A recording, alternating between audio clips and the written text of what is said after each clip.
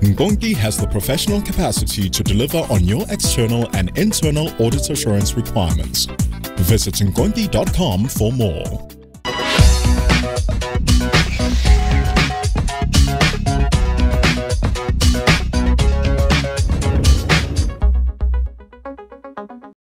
Welcome back. Mervyn King and I are talking about human capital in the workplace with our guests, Derek Yach and Paul Norman. Want to talk about stress. Is the average employee today much more stressed than they were, say, 10 or 20 years ago because of the information age we live in? And let's say in South Africa, we live in pretty stressful environments here. I'm not sure if they're more stressed. Um, I think the awareness of stress is rising, and the awareness of broader aspects of mental health, I think, are far greater. And there's no question that you could argue that for the case that they're more stressed, um, people are worried about their employment, they're worried about hiring and firing practices, pressure of time, and so on. But I think in past eras there probably were equivalent pressures. I think what's more important to say that we have tended to neglect these issues and neglected the broad area of mental health at enormous cost um, to our employees and their families. But Paul, because we live in the information age, we have smartphones, we have iPads, you're always on call surely that has to be to raise, to raise the stress of the average employee. Well, I think in our experience, certainly, I mean, it's, it's a consequence of the industry that we're in, but I think the, with all the benefits that it's brought, um, the downside is, as you say, you never switch off. So, and, and there's an expectation in the current sort of uh, environment that once somebody sent you an email or an SMS or yeah. whatever, in fact, you've got it, you should be responding immediately. Mm. And I think also with increasing globalization, and MTN's no exception to that, you have uh, people tend to work seven days a week in the sense of that they're on and off because they are, you know, in our case, we have the Middle East and they work on weekends when we're off and so forth.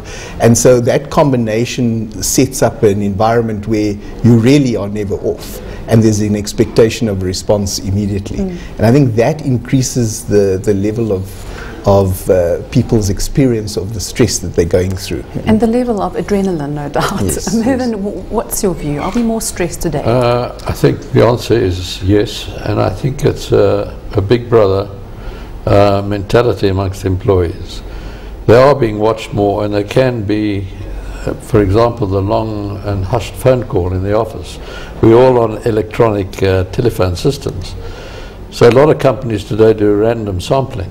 They will call for your printout of your telephone account and they will see twice a week you phone a number and you speak for 15 minutes. Who is that number? Oh, it's a supplier. Mr. Roberts, please come into my office. Please explain this phone call and everything. And there are these red flag tests being happen, happening in companies today because of uh, electronic information. So employees are feeling Big Brother is with them all the time. And then there's the question of does a company stop an employee using uh, emails, personal emails, and things altogether? I don't think that's plausible. I don't think it's possible. Then you get a question of how much, what time can be spent in personal matters, on phone calls and emails and whatnot.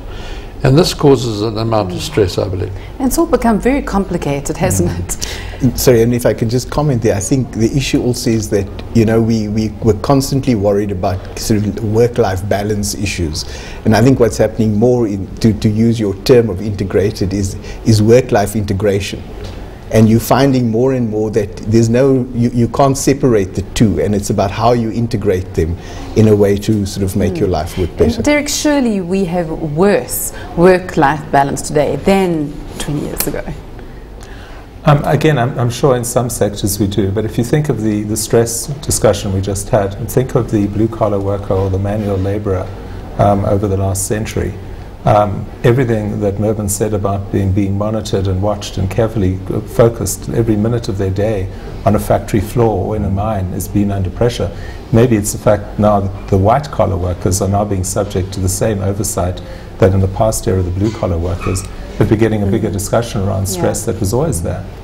Um, I, but I think the issue of stress, you could say, well, um, is it something we should terribly worry about, or are there bigger mental health issues we should worry about? And I get concerned that stress is put out as a generic huge problem when maybe it's not. If you speak to colleagues um, from the mental health world who've reviewed what's going on in the workplace, they would argue that there's a certain amount of stress that's actually desirable su- for success in a company, um, white and blue collar workers.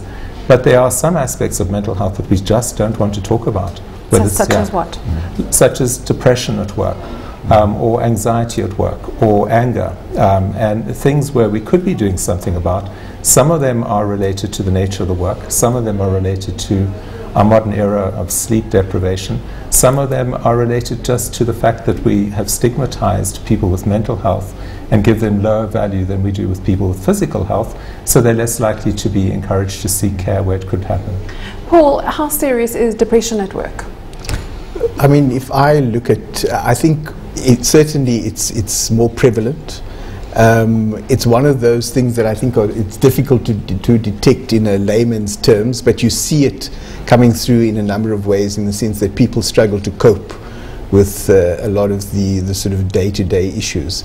So my experience is certainly that there's been a growing uh, sort of say, let's say, presentation of that uh, th- that sort of uh, disease in, in the organization. But, but certainly, um, you know, it's not a, it, it, I think it's more around how a company manages it. And I think in that instance, it's about creating the right environment.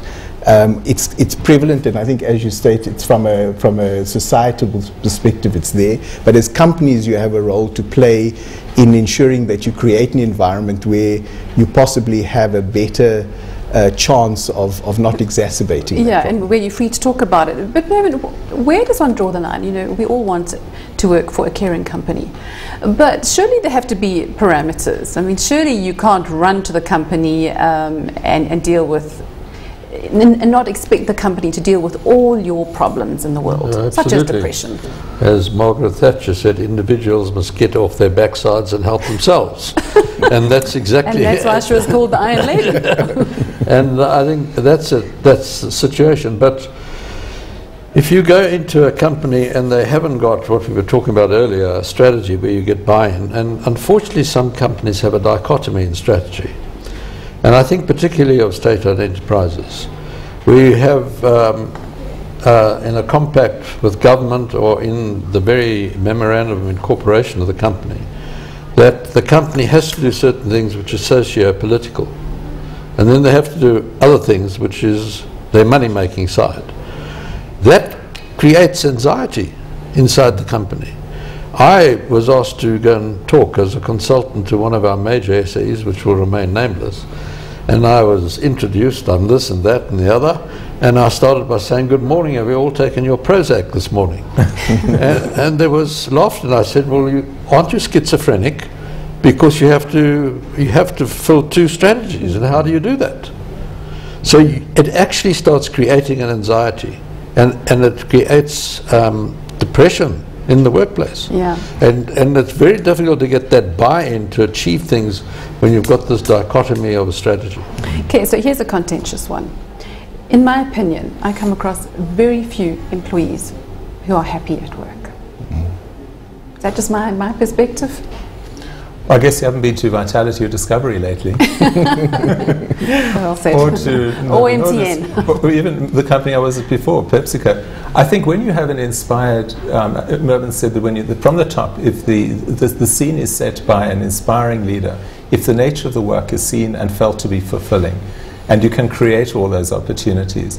Uh, if you don't have a lot of, of people who are hanging around waiting for their pension date, which I think is a function often of the state or the semi-state structures more than the private sector, you're more likely to have uh, increased prevalence of happiness at work.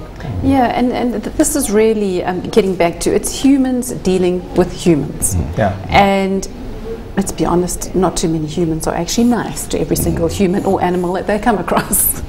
And I, I think, I mean, we measure our engagement levels at least once a year. I mean, but it's in a regular form in another throughout the year. But um, what we what we specifically focused on is this sort of issue of how, on a number of dimensions, the staff are connected, and and we, of course that way that goes up and down for various reasons.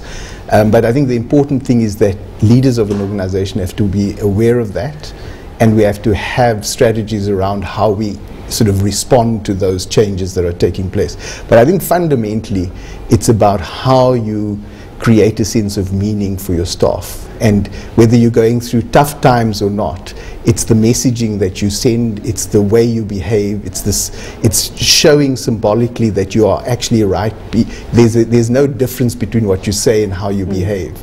And through all of that is, is maintaining that connection with the staff. And certainly our experience has been that and MTN's been through various sort of uh, difficult times in different countries and so forth uh, throughout the last 20 years. And that's been one of the key things that we've driven to, to ensure that level of engagement. Uh, Derek, tell us what companies should be doing about health in the workplace. What is best practice right now? Well, I think it does start, as say, with, with, the CEO and the leadership of the company. It's then reinforced uh, very much by having uh, the physical environment making healthy practices the easy practices, whether it's ensuring it's smoke free, healthy food at work is, is available, that there is an activity opportunity. It's then also creating the incentive structures for people to be rewarded as their health behavior improves. So, this sort of vitality program where you try and encouraging people over the long course of their career to um, evolve to higher and higher levels of health. Um, and I think when you start doing that, um, you start also then wanting to engage the families and the local community. That has a big reinforcing fact, uh, factor. And we're seeing that there are a growing number of companies here. If you look at the companies who win the um, Healthy Company Index um, award, a large number of them in this country are starting to exemplify these kind of practices. Yeah, so in the words of Jerry Springer, be kind to each other. we have to leave it there. thank you so much, all my guests, and thank you so much for watching. We'll see you next week.